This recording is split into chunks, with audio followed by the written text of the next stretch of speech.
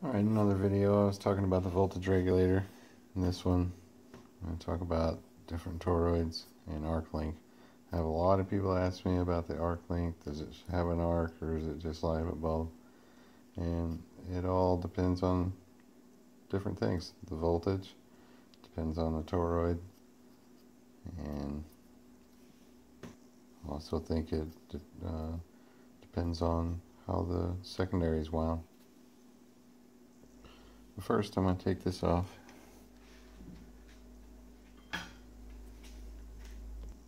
And I'm going to kill the light so I can show the arc length just to this bulb here.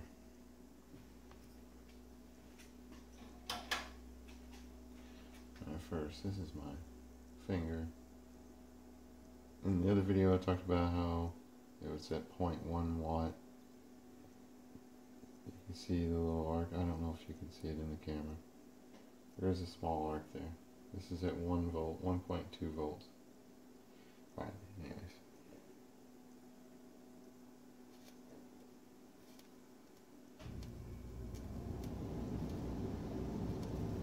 And there goes the thermostat turning on like I was talking about in the other video.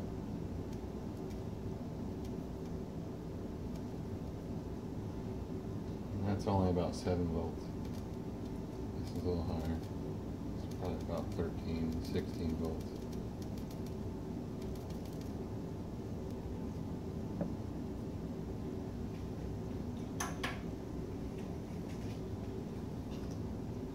And now I'm going to put this on, which is just a metal disc I made out of sheet metal. You can get some at the hardware store. Just drill the hole in the middle, put a bolt in.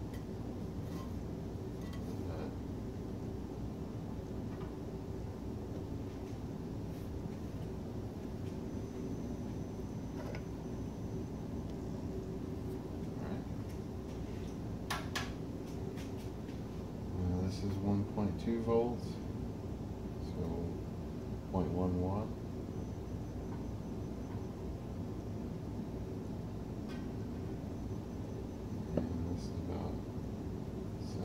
Volts. There's a big difference with the arc. Adding this toroid. Turn it all the way up. You can feel the heat on the bulb. Now if I turn the bulb a little bit, it'll catch fire there.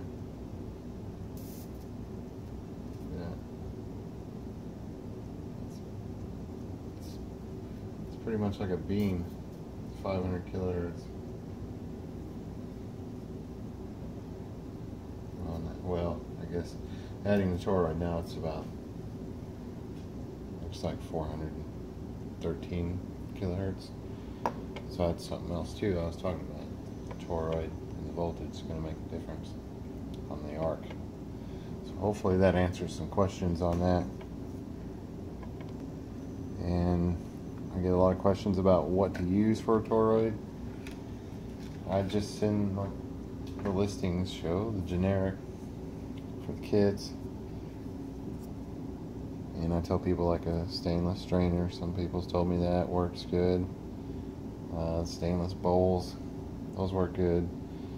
Um, like this, just disc right here works pretty good. And well, let me just put a toroid on it and see the difference. Alright, got the toroid on there now. And it's on top of the metal disc. So, it seems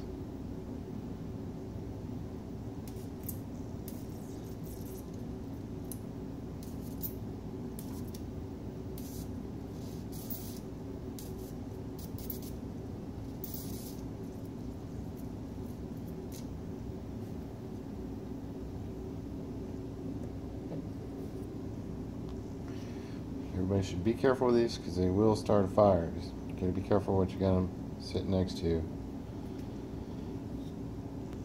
And like I said, I, I'd really recommend using the voltage regulator up to 24, 30, or 30 volts DC.